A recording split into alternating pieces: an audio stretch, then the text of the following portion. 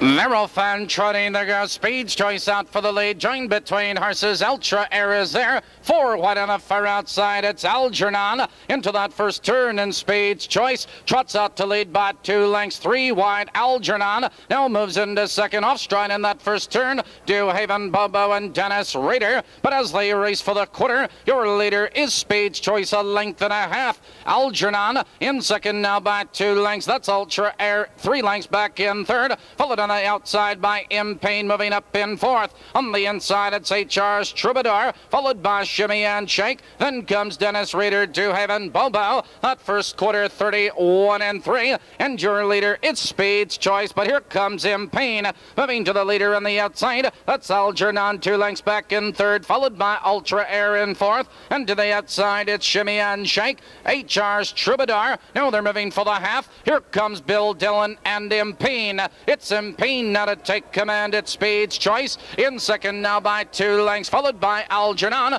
Now they're halfway home. 103 flat into the clubhouse turn. Impede has the lead in the reel by four lengths. Speed's Choice. In second by two lengths, Algernon. Closing the gap in third by four lengths. Shimmy and Shake to the outside. On the inside, that's Ultra Air.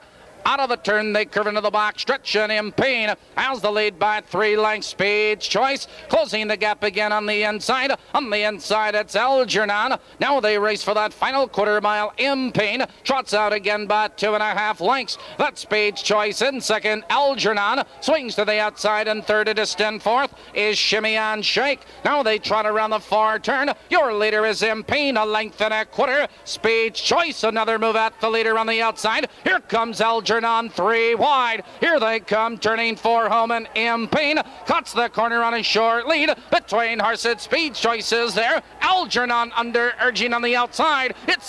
Payne with the lead. Algernon on the outside. It's all Impede. Algernon close for third.